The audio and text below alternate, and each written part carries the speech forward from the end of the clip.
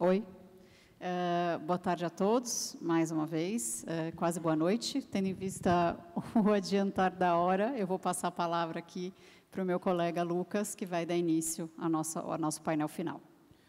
Boa tarde a todos. Uh, queria agradecer primeiro a, a organização do Congresso, na pessoa do professor Luiz Fávio, pelo convite.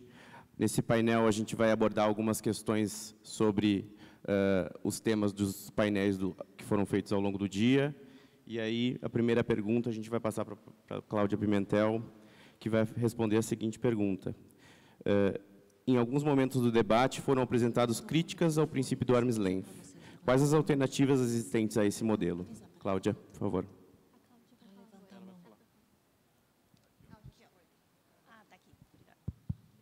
Ah, é, é, obrigada pela pergunta.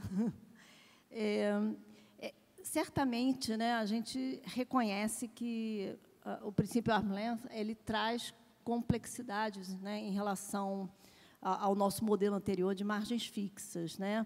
E isso é fato, né? É, mas a, a, complexidade ela deve ser vista, como nós estamos falando de transações internacionais, ela tem que ser vista no contexto internacional. O que a gente ouviu durante a tramitação, muitas multinacionais, elas gostaram dessa adoção porque é mais simples ou uh, é melhor para fins de, de, em termos de trabalho e necessidade pessoal, é mais simples você ter uma adoção que é aderente nos dois países, vamos dizer que é uma transação Brasil-França. A França aplica as regras da OCDE. Então, é, essa complexidade, é, ela acaba sendo reduzida quando você tem o mesmo sistema. Então, a adoção pelo Brasil, ela desobriga a empresa brasileira a fazer um cálculo, uma apuração totalmente diferente do que foi feita pela sua irmã, né, na França, nesse caso. É, então, o que a gente ouviu também é uma redução de custos, né, e menor complexidade você não ter que aplicar dois sistemas. Né? Então, é, esse é um ponto também que tem que ser considerado, e com risco menor de ter dupla tributação ou de dupla não tributação. Quando você tem sistemas aderentes, isso é, é, é, é possível, né? o que não era possível uh, anteriormente. Agora, se perguntar uh, se é, normas né, mais objetivas como eram antes, se a gente for pensar no formulário apportionment. Seria possível a gente, é, uma adoção unilateral, ela é viável, mas será que é a opção que o, o Brasil gostaria? Né? É, a gente vê as discussões do Amount B, que é, é, é, é mais ou menos isso, né? a discussão que está tendo no Pilar 1 em relação ao Amount B, é uma definição de, de percentuais, de, de uh, de margens, né, de como simplificar, mas só para o baseline distributor, que é, que é uma função muito específica. E não está se chegando a uma conclusão. Então, está havendo divergências, né? os países estão uh, tá caminhando, mas há uma divergência. É, então, me parece que é, uma, um modelo né, que você acomode uh, que você tenha realmente uma adesão e que tenha uma estabilidade internacional, me parece que ainda é o, o, modelo que é adotado pela grande maioria dos países, né, que foi agora que o, o, o Brasil se juntou. Né? Então, é, eu acho que seriam essas assim a, as considerações que eu é, gostaria de colocar né, é, em relação a essa pergunta. Maravilha. Eu vou aproveitar que a resposta foi super completa e já vou passar para a próxima pergunta, que eu vou direcionar para o Roberto. Roberto, é, a pergunta que foi enviada é a seguinte. Aplicação das horas implica tributação analógica e contrária ao artigo 108, parágrafo 1 do CTN? E a pergunta vai adiante, diz, quais são os riscos de adoção indiscriminada das horas e quais são os possíveis parâmetros para o seu controle? Bom, primeiramente, boa tarde a todos. Queria agradecer a todos é, da coordenação do evento e parabenizar pela excelente é, organização. Indo direto ao ponto, eu gostaria só de fazer um pequeno comentário à fala da, da doutora Cláudia, no sentido de que, de fato, nós temos que adotar um, um regime que convirja, digamos, para um padrão comum, para o arm's length. Nós ouvimos em alguns é, painéis anteriores, críticas em relação ao arm's length, principalmente num, num, cenário de economia digitalizada. Então, num cenário de economia digitalizada, nós não temos comparáveis para tudo, principalmente para intangíveis, e muito se falou em relação à migração para um Global Formulary Apportionment. Bom, é, o Global Formulary Apportionment ele seria o ideal no sentido de capturar todos os ganhos de sinergia que se tem em, é, estruturas multinacionais, mas ele é infactível porque nenhum dos países não conseguiriam concordar em relação aos critérios da fórmula. Né? Seria dividir, repartir os lucros de todo um grupo de acordo com uma fórmula que se considerasse custos, receitas, emprego de mão de obra, ativos imobilizados, intangíveis, enfim. Teríamos aqui um grande conflito entre países é, desenvolvidos e em desenvolvimento e não chegaríamos a um acordo. É, e isso claro, ofenderia aos mais de 4 mil tratados celebrados até hoje, com o artigo 9 em que está corporificado o, o princípio arm's. Então, eu gostaria de apenas reiterar a boa iniciativa que é a conversão para um, para um sistema é, que, claro, é subjetivo, mas que é o standard adotado pela maior parte dos países do mundo. Indo em relação à hora, a questão é se é, a consideração das opções realisticamente disponíveis e a requalificação de operações culminaria, no final das contas, em uma tributação analógica. Nós sabemos que a analogia ela é um instrumento para você comatar lacunas na ausência de uma disposição expressa dada pelo, pelo, pela lei tributária em relação a, a determinada situação da vida. É, é, parte de uma ideia de coerência e de igualdade, no sentido de que se uma operação equivalente tem aquele tipo de aquele tratamento tributário, aquela que não está expressamente tra tratada teria que receber um tratamento equivalente. O CTN veda que, a, pelo emprego da analogia, se chegue a uma carga tributária, se impute uma obrigação tributária. É, eu não entendo que é isso que ocorre com as hora. Né? No caso, o que é a hora? Né? A gente tem que entender um pouco do que foi falado nos painéis. O professor Chueire falou muito bem, professor Iarive. É, as horas elas têm, elas são um, um, um recurso presente na lei de preço de transferência, tanto no delineamento quanto no reconhecimento da operação, e nas guidelines também na hora da precificação, principalmente quando a gente adota os, os, os two-sided methods, uh, né, que são principalmente o profit split, eh, nas operações envolvendo intangíveis e reorganizações de negócios. Nós não temos ainda IN disciplinando essas operações mas basicamente nós temos em todas as etapas né, é, de aplicação, as quatro etapas de aplicação de preço transferência, né, delineamento, reconhecimento, indicação do método e depois precificação, nós temos um pouco das horas ali rondando isso. Né? É, é, um conceito que tem um duplo grau de indeterminação. Em primeiro lugar, ele se pauta, como bem falou o professor Chueri, em um standard de, pensar, de agir racional do ponto de vista econômico, o homos econômicos. Né? É, em segundo lugar, é um conceito jurídico indeterminado porque as expressões opções realisticamente e disponíveis, elas todas comportam um grau elevado de indeterminação. Então, é a função, embora não seja tributação analógica, claro, é, é a função do intérprete, é a função de nós contribuintes e da Receita Federal usar esse instrumento com cautela. Por quê?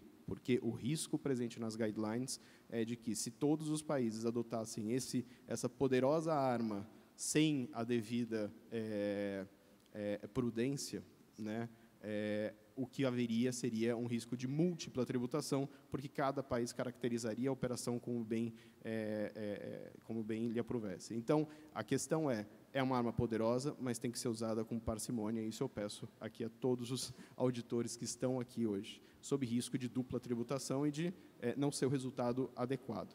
Então, quando a gente pensa é, nas guidelines do OCDE, é, o parâmetro é sempre o que terceiros independentes teriam feito. Então, o teste é sempre, terceiros independentes teriam feito isso. Então, a gente tem que sempre pensar em que esse, é, por ser uma, um recurso de extrema exceção, tem que ser usado excepcionalmente. Então, aqui a OCDE defende o chamado clearly more, attract, clearly more attractive é, é, option. Né? Tem que ser claramente mais vantajosa. Não é qualquer opção. Tem que ser uma opção claramente mais vantajosa para ela ser utilizada. Quando a gente pensa em opções, opções, em primeiro lugar, são faculdades. Se é uma determinação legal, uma obrigação legal, eu não estou falando de uma opção. É, realisticamente disponível envolve aquilo que a época em que é, a, foi praticada a transação estivesse vigente. Então, o elemento temporal é muito importante. E, evidentemente, para ser disponível não pode ser ilegal. Então, uma prática ilegal ou contrária ao regulamento de qualquer um dos países, ela já seria, é, teria que ser descartada. É, é, não seria uma opção realisticamente disponível. Então, Roberto, então, esses são alguns dos parâmetros que eu gostaria apenas de, de, de indicar. É, considerando que você fez um comentário a, ao que a Cláudia havia respondido, vou dar a oportunidade dela também tratar do tema e passando a palavra para ela, a gente pode seguir. É, é, obrigada. Não, eu não poderia concordar mais do que. É, eu não poderia falar melhor, explicar melhor o hora do que você acabou de fazê-lo. Né? Quer dizer, na nossa visão, é, o hora ele tem que ser aplicado com muito cuidado. É, ele é um, excepcional. É, é, são situações excepcionais que é para ser aplicado. E ele visa justamente a garantir a aplicação adequada do princípio arm's length, quer dizer, porque você tem que fazer a comparação com que partes independentes praticariam. É, o que a gente pensa em fazer em termos da Receita Federal para dar um pouco mais de, talvez, de conforto, né?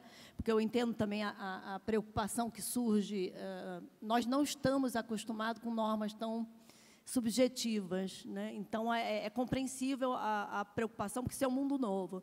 Então, o que a gente tem pensado fazer é colocar é, um anexo né, com exemplos do que, que seria essa possibilidade de, de uma aplicação. Né?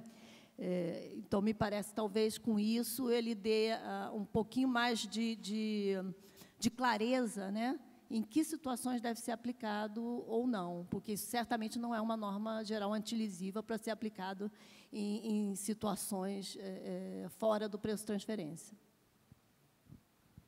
Obrigado, Cláudia. Obrigado, Roberto. Vamos passar para a próxima pergunta. O Leonardo Pinatari vai comentar a seguinte pergunta. Caso o contribuinte atenda a SAR prevista no tratado, ainda seria possível negar os benefícios ao contribuinte com base na PPT? E se a PPT não se aplica, ainda seria possível aplicar a GAR doméstica? Bom, obrigado, Lucas. Boa noite a todos e todas. Essa é uma pergunta que causa enorme divergência, as duas perguntas, na verdade, causam enormes divergências na doutrina. Eu acho que, mais do que passar por alguns dos posicionamentos doutrinários, é entender o que, que a OCDE diz a respeito da interação entre as regras anti-abuso no nível do tratado e as regras anti-abuso na legislação doméstica dos Estados contratantes.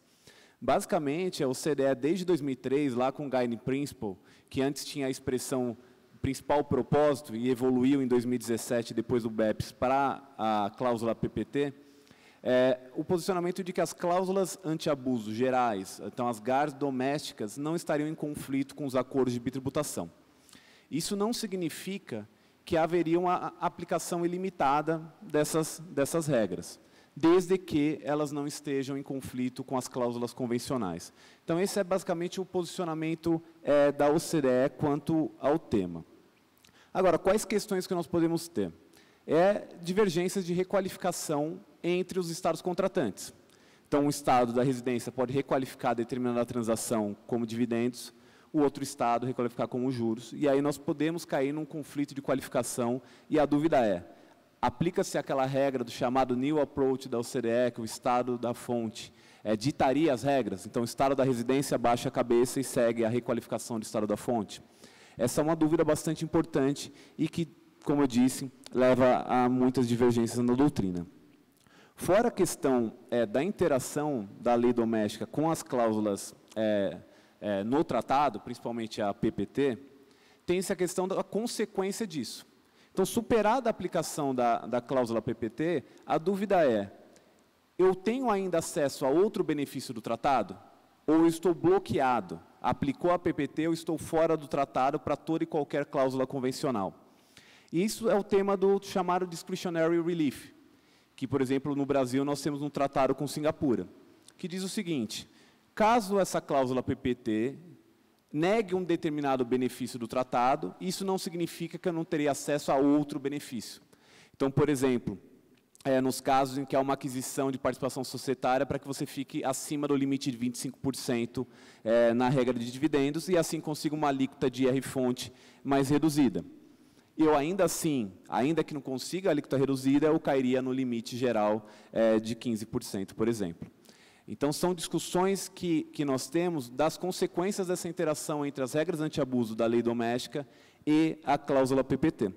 E a dúvida quanto ao discretionary relief é, ele está nos comentários da CDE e no artigo 7º, parágrafo 4 do MLI. Se eu não tenho um tratado com uma cláusula desse tipo, ainda assim eu posso negar qualquer benefício ao, é, ao contribuinte previsto no tratado? Ou seja, essa discretionary relief é uma cláusula interpretativa ou eu posso fazer um raciocínio inverso? Se um tratado tem essa cláusula e o tratado que não tem, ele não vai ter o efeito é, do discretionary relief. E esse é um problema que nós temos e que geraria um duplo efeito. Primeiro, uma dupla tributação, e o segundo, transformar a cláusula PPT em um torná-la com um caráter essencialmente punitivo, que claramente não é a intenção, pelo menos ao meu ver, é, dos estados contratantes ao introduzi-la. E um último comentário, isso é a principal parte da interação com as chamadas SARs, são as regras especiais anti-abuso. Então, a, a dúvida é, se eu, o contribuinte possui uma estrutura que ele passa pelos requisitos da SAR, ou seja, ele é aprovado na primeira etapa, eu ainda poderia aplicar a cláusula geral anti-abuso do tratado, que seria a PIPT, isso também é, possui uma divergência na doutrina, principalmente quanto à existência de uma antinomia ou não entre as regras. A meu ver, é, eu poderia aplicar a cláusula PPT, ainda que a LOB fosse cumprida, desde que a, a LOB, o contribuinte buscasse contornar a LOB de forma abusiva. Então, nessas situações, eu conseguiria, sim, é, passar pelo teste da, do MASSAR, por exemplo, uma LOB no âmbito do tratado, e, posteriormente, ter a aplicação da cláusula geral anti-abuso. É, a título conclusivo, já para passar a palavra para o Diogo, é importante que essas cláusulas anti-abuso, e nós vimos no painel de ontem, de política fiscal dos acordos de bitributação, é, que essas cláusulas estejam no âmbito do tratado. Eu acredito que quanto mais nós tivermos definições, cláusulas anti-abuso dentro do escopo do tratado, isso facilita e evita conflitos de qualificação, como mencionei, entre essa briga, o Estado da residência, o Estado da fonte, e com o Estado da residência falando, não vou te dar o crédito porque você não aplicou o tratado em conformidade é, com a convenção. Muito obrigado. Obrigado, Leonardo. Eu acho que oxigenando um pouco discussões sobre tratado, a gente volta agora para preço de transferência para fazer uma pergunta agora para o Matheus. Matheus, durante a apresentação do José André, que nos brindou hoje com uma bela apresentação sobre o tema, foi em um dado momento mencionado, foram mencionadas as regras de ThinkApp, e, portanto, surgiu a dúvida, qual a expectativa para essas regras diante da convergência do Brasil para o modelo de, da OCDE de preço de transferência? As regras de subcapitalização, elas continuam tendo algum espaço para serem aplicadas? Obrigado, Diogo, pela pergunta. Boa noite a todas e a todos. E, para responder muito direto e objetivamente, a expectativa sobre regras de ThinkApp, pelo menos a meu ver, é baixa, para não dizer nenhuma. E por que isso? Por decisão legislativa. A nossa lei de TP já alterou a lei de ThinkApp e manteve tudo que existia lá, inclusive a respeito da famosa e famigerada aplicação concomitante. Então, quando muita gente voltaria a discutir né, o que, que vale, o limite de TP, o limite de ThinkCap, essas discussões a doutrina já vem é, documentando muito bem desde 2010, pelo menos, e nada de novo aqui. O que eu acho que se desvela a partir da lei de TP é uma constatação de que a nossa lei de ThinkCap está ficando a cada dia que passa muito velha, né, muito antiga. Ela é uma lei pré-BEPS, era uma lei de 2010, mas que se baseia num padrão de 98. Né? O que ela adotou está no relatório de Harmful Tax Practices de 98, que foi o primeiro pacote de maldades do OCDE, e, portanto, essa lei ela não adotou nada daquilo que se viu como bom padrão depois disso. Né? Então, ela ignora a estrutura de capital da empresa, ela ignora a estrutura de ativos da empresa, ela ignora o EBITDA da empresa, ela simplesmente conhece o patrimônio da empresa e faz uma proporção de dois para um entre endividamento e patrimônio, e, com isso, deduz um limite é, é, deduz não, né, estabelece um limite de dedutibilidade.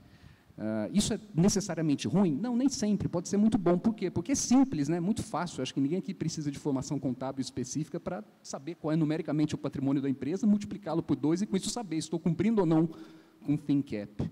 Mas isso pode ser muito ruim para alguns contribuintes cuja atividade necessariamente envolve alguma alavancagem, algum endividamento, e em tempos que não são mais os nossos, de juros baixos, né, onde o custo do capital no empréstimo é muito baixo, e eu não consigo, ou não me deixa de ser interessante por via de uma regra tributária que, pelo menos nesse, nesse aspecto, me parece desproporcional como medida anti-abuso. É uma medida muito simples, mas que, a depender do contribuinte, do setor e do endividamento que se constata naquele setor, ela parece claramente desproporcional.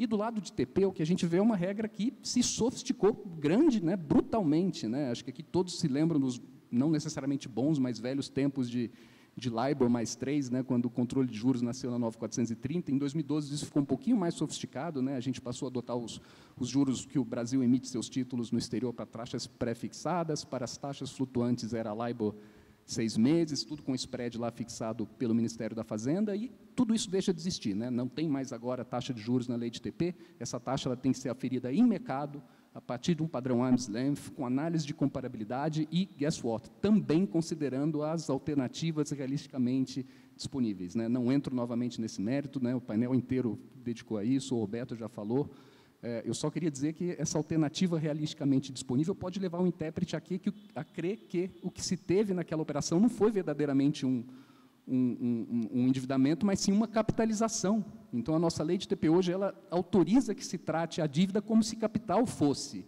E percebam, isso é, em alguma medida, também o escopo da nossa lei de ThinkCap. A ThinkCap, em alguma medida, ela também serve para isso. Então, a gente passa a constatar que o sistema hoje conta com duas normas igualmente anti-abuso, dirigidas de forma bastante semelhante ao mesmo objetivo, uma delas muito simples, mas tendente à desproporcionalidade, e a outra delas muito complexa, mas que não tende à desproporcionalidade, porque até por uma exigência de comparabilidade, aquela operação tem que se ajustar é, é, à minha. Então, é essa, essa é a, esse é o, é o, dilema, esse é a escolha que tem que ser feita, pelo menos em termos de design legislativo, para uma futura é, é, é, reforma da nossa legislação sobre a renda. Então, eu diria hoje que, por bem ou abaixo a regra de TINCAP, de, de TINCAP que é muito, tende a ser ruim, apesar de fácil, ou bem se atualize a regra de TINCAP, né, para tudo aquilo que já se estabeleceu como boa prática e que segue sendo ignorado é, pela legislação brasileira nessa matéria. Acho que era isso, Diogo. Obrigado. Obrigado, Matheus. Seguindo no tema do transfer pricing, a Carolina Carey vai responder a próxima pergunta, que é a seguinte. Comente sobre a obrigatoriedade das empresas brasileiras realizarem a entrega do Master File nos casos em que todas as transações são realizadas com paraísos fiscais. Obrigada, Lucas. É, gostaria de dar boa noite a todos. Para mim essa, essa é uma questão assim bastante simples, né? Porque o Masterfile ele basicamente traz informações sobre o grupo multinacional, né? Se você não tem um grupo multinacional, você não vai ter as informações ali que são necessárias para o preenchimento do Masterfile, a não ser que você preencha ali um Masterfile basicamente com não aplicável para vários requisitos, né? Então, eu entendo, né, a dúvida, principalmente a dúvida do contribuinte, né, tendo em vista que a gente tem penalidades ali bastante altas pra, pela não entrega dos arquivos, né, tanto o arquivo local quanto o arquivo global. A gente tem penalidades pela entrega ali incompleta dos arquivos, né, então isso gera uma apreensão é, ao contribuinte, mas ao meu ver ali ficaria é, é, ficaria um arquivo bastante incompleto, né? Aí não faz muito sentido você preparar um arquivo para multinacionais para uma empresa que não é multinacional. É, eu acho que essas, essa é uma questão é, que gera dúvida no contribuinte. E também outra questão, aproveitando até a pergunta, né, que tem aparecido ali muitas dúvidas né, dos contribuintes, é em relação a operações muito pequenas, né, que não geram obrigatoriedade ali de entrega dos arquivos, mas que deveriam ser controladas no TP. E aí a gente fica ali, né, numa expectativa, né, na legislação anterior a gente tinha a questão dos safe harbors, né, que podiam ser utilizados para esse tipo de operação, dessas operações pequenas. Então muitos contribuintes já não faziam ali o controle embasados nessas características de safe harbors. E na nova legislação a gente ainda não tem essa, essa previsão, né? Então muitos contribuintes estão se perguntando também se nessas operações tão pequenas vai, vai ter necessidade de fazer todo um controle, um estudo de benchmark. A gente sabe que é um estudo caro é, uma documentação toda adequada, e então a gente fica ali na expectativa de que haja uma, uma normativa sobre o tema. Mas sem me alongar muito, acho que a gente sabe que o tema é curto, o tempo é curto, mas é basicamente isso. Obrigada, Lucas. Cláudia, não sei se você quiser comentar alguma coisa, te pegando de surpresa aqui. É, não, assim, em relação à questão do paraíso fiscal, tem, tem também uma preocupação se efetivamente a empresa que está no paraíso ela não é parte relacionada. É, é porque tem, né, há uma preocupação, porque às vezes se diz não relacionada, mas no fundo ela é. Né? É, mas, assim, realmente, se ela for efetivamente não relacionada, é, aí me parece que é, é um problema, porque ela não vai ter, não vai ter essa informação. E, e, e nós temos ali regras na, na legislação que permite talvez considerar de, de dar uma simplificação e, e des, desobrigar, no caso que ela demonstre que realmente não é parte relacionada. Né? Maravilha. Agora a gente vai para outro tema relacionado ao Pillar 2. Então, as próximas questões vão girar em torno desse eixo temático. Eu vou direcionar essa próxima para a Belisa. E a pergunta que foi enviada é a seguinte: Caso as diretrizes do Pillar 2 sejam adotadas no Brasil, o regime tributário baseado na tributação em bases universais da Lei 12973 precisaria ser ajustado? Caso continue existindo, ainda seria possível considerá-lo uma CFC? Muito obrigada, Diogo. Obrigada pela pergunta. Eu acho que essa é uma pergunta que nós brasileiros automaticamente fazemos quando nós ouvimos sobre o Pilar 2, porque é claro que o Pilar 2 ele tem um objetivo que não é exatamente o mesmo objetivo das nossas regras de TBU, mas eles acabam é, possível que haja uma sobreposição das regras e que os lucros de controladas e coligadas no exterior acabem sendo su submetidos pelas duas regras, caso o Brasil adote é, as regras do Pilar 2 e continue com, a, com as regras de TBU é, como elas estão hoje é, vigentes no nosso país. Né? É, de fato, as regras de TBU elas são mais abrangentes do que as regras do Pilar 2, como a Cláudia já disse no nosso painel. Não só porque ah, as regras de TBU elas, elas sujeitam os lucros das controladas e coligadas no exterior a uma, uma alíquota acima dos 15% que o Pilar 2 é, virá introduzir, então ela submete esses lucros a uma alíquota de 34% ou 25%, dependendo do caso. E o método de cálculo, na verdade, das regras de TBU, ele é diferente do método de cálculo dos, do Pilar 2. Então, isso pode gerar, de fato, uma dupla aplicação da regra, porque pode ser que uma regra, a regra de TBU, ela seja um pouco mais abrangente do que a de Pilar 2, mas ela em alguns casos, pode ser que ela não capture algumas coisas que o pilar 2 possa capturar. Então, poderá se ter uma sobreposição das regras, mas elas também poder, poderiam ser complementares.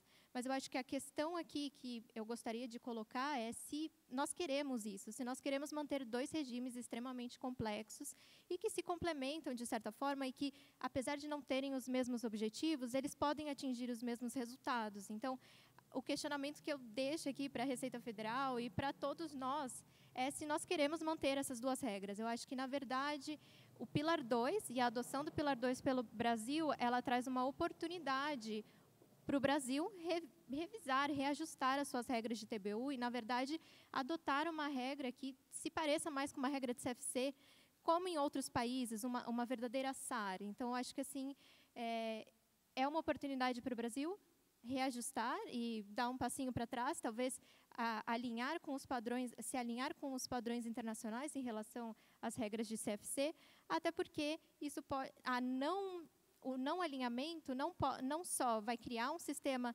mais complexo, vai criar é, mais obrigações acessórias e, e talvez é, seja desnecessário que tenhamos o cálculo dessas duas regras, mas também pode gerar um, uma dupla tributação, porque nas regras do Globe, é, eles endereçam as, o, o tributo pago sob as regras de CFC. Então, quando um país vai aplicar o IIR, ele deve considerar como um tributo coberto o tributo que foi calculado sob umas regras de CFC, e ele vai considerar esse sendo um tributo coberto da subsidiária, que é considerada CFC. Então, no país em que essa subsidiária está localizada. Mas para ele fazer isso, ele tem que considerar que a regra seja uma regra de CFC.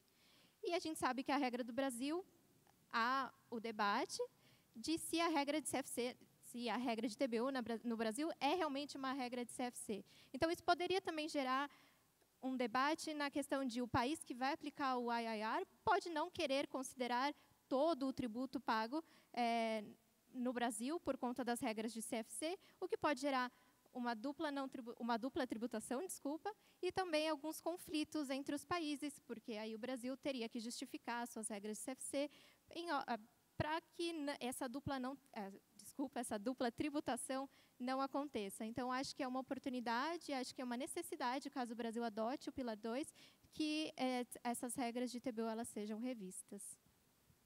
Obrigado, Belissa. Para a gente encerrar esse dia, que a gente teve debates tão profundos e tão interessantes, a gente vai trazer uma dupla para responder sobre o mesmo tema. A Audrey Okada e o Leonardo Aguirre vão falar sobre como os benefícios fiscais serão vistos no contexto do Pilar 2. Audrey, por favor. É, vamos lá. Generosidade hoje. É, eu acho que antes da gente entrar especificamente nesse tema, a gente tem que pensar o que, que a gente quer ser como país. Porque eu me lembro de, em algumas ocasiões, fazer apresentações globais, é, depois de Singapura, por exemplo. E como que os caras de Singapura começavam o discurso deles? Eles começavam dizendo o que, que eu quero ser como país. E a partir disso, então ele falava, eu quero ser um hub para a Ásia e Pacífico. E a partir disso eles descreviam as regras, ah, os benefícios fiscais que eles tinham. Então todo, toda a regra, todo o benefício fiscal era focado no que ele queria ser como país. Ah, tá bom. É, não, não, imagina, fica à vontade. Mas, mas, eu queria que você ouvisse uma parte, mas tudo bem, pode ir indo, pode ir indo. Não, eu acho que nesse sentido, é, aonde isso se conecta com a Receita Federal? Porque, considerando as novas regras de Pilar 2, é, vão ter situações que os benefícios fiscais da perspectiva brasileira podem ser considerados no cálculo do meu effective tax rate como numerador ou denominador. Isso tem efeitos diferentes. Então, para que ele seja um Qualified Refundable Tax, existem alguns requisitos que a gente precisa cumprir. Então, eu acho que, antes de tudo, a gente tem que pensar o que, que a gente quer ser como país. E vou dar um exemplo aqui, out of the blue, mas é, não sei, uma instituição de ensino, por exemplo. Existem instituições de ensino que recebem benefícios é, que são muito relevantes para o país. Então, se eu não readaptar essa regra para que ele seja um Qualified Refundable Tax Credit, eu vou desincentivar essa atividade que eu, como país, gostaria de incentivar. Então, acho que seria um momento da gente reavaliar quais os benefícios que a gente tem. Obviamente, vão ter alguns que vão ser mantidos, porque existem exclusões de empregados exclusões de ativos tangíveis, então isso pode eventualmente, então uma atividade que exija muitos empregados, muitos ativos tangíveis, pode eventualmente não ser afetada, mas existem outras que serão afetadas. Então acho que, de novo, a minha provocação é, é o momento da gente olhar para os benefícios que a gente tem hoje e ver quais, considerando o que, que a gente quer ser como país, deveriam ser rearrumados, rearranjados, re qualquer coisa, para que eles possam ser qualified para fins de Pilar 2 e manter o incentivo é, que a gente vislumbra que é, que é relevante para a nossa nação. Vai lá, Léo, complemento. Obrigado, Audrey. É, boa noite a todos. É, para finalizar, e também deixar a Cláudia, que já tinha avisado que ela precisava sair mais cedo, ela fica à vontade se precisar sair, é, eu queria fazer um comentário brevíssimo sobre essa questão do crédito. É, nos parece que realmente o Pilar 2 nos convida a fazer uma revisão dos benefícios fiscais é, que Léo, tratam só um pouquinho, de renda. Só para a gente dar tchau para a Cláudia. Tchau. Obrigado, Cláudia. Obrigado, Cláudia. Obrigado pela participação. Tchau, boa noite. Desculpa, então. Imagina, Léo, pode... imagina, imagina. Aqui é um formato de mesa de debates, então acho que fica à vontade para se interromper. É, o Pilar 2 nos convida a fazer uma revisão de benefícios fiscais. Né? Então, a gente vai ter uma série de benefícios é, desde que eles sejam aproveitados pelas empresas que estão no escopo do Pilar 2, né? É, então a gente vai ter lucro da exploração, o PERS, que foi mencionado aqui pela Cláudia mais cedo, é, PID, PAT, tem uma série de benefícios fiscais que, é, uma vez que o Brasil aplicar o Pilar 2 é, na sua legislação, eles vão perder seus efeitos em relação a essas multinacionais. É, então, a OCDE está olhando nas suas recomendações para que esse formato seja alterado. Ao invés de você deixar de tributar, você tributa e entrega o crédito qualificado. Esse crédito qualificado, ele entra como um fator redutor no numerador lá do cálculo do ITR. Então, é, em outras palavras mais simples, é naquele ano em que você pagou menos imposto do 15% na alíquota efetiva, você vai descontar desse imposto os créditos que você recebeu no numerador. Né? Tinha que fazer uma conta aqui, se tivesse com uma lousa eu faria uma conta aqui. É, então, o recebimento do crédito, ele vai impactar quanto que você vai ter de carga tributária. Então, é, por que, que esse recorte é tão importante? Porque a definição de Qualified Refundable Tax Credit é uma definição que comporta uma série de falhas. Duas importantes. Uma, só, você só considera o crédito qualificado se ele for pago em quatro anos. A nossa tradição brasileira não é de pagar em quatro anos. A gente sabe que a lei de subvenção, que já está, né, é, como ela mesma diz, é, alinhada com o Pilar 2, ela fala que vai ser pago o crédito em dois anos. Mas situações do dia a dia podem acontecer. Digamos que você tem uma ação judicial sobre esse assunto. A ação judicial demora seis anos, sete anos para acabar. Esse endereçamento a gente vai ter que ter, porque a definição de Qualified Tax Credit é de quatro anos.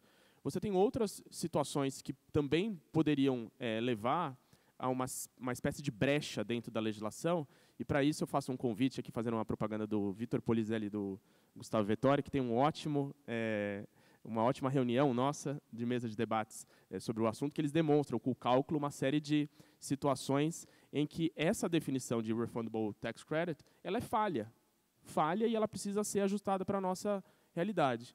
A própria lei né, da tributação de subvenção já nos coloca esse cenário. Né? A gente, ela acabou de ser editada, a gente não, não tem a legislação de Pilar 2. Mas lá na frente, quando a gente vier a ter essa legislação, a gente vai certamente enfrentar é, um contencioso se a gente não tiver uma normatização é, que proteja é, as empresas que vão estar submetidas a esse, esse regime. Porque, no final do dia, se não houver essa proteção, o que, que vai acontecer? Você vai ter o maior é, top-up tax e, ao mesmo tempo, você vai estar fora é, do regime, é, digamos assim, doméstico que, que, que dá o um endereçamento para o crédito. Então, tem uma dupla penalização. E isso exige uma normatização brasileira para endereçar esse assunto, considerando esses dois fatores principais, principalmente o tempo né, dos quatro anos. É isso, pessoal. Obrigado. E falando em tempo, o nosso acabou. Então, eu queria agradecer a todos os participantes, a todos os presentes que acompanharam a gente até o fim. E espero vê-los amanhã para o último dia do Congresso. Então, muito obrigado boa noite.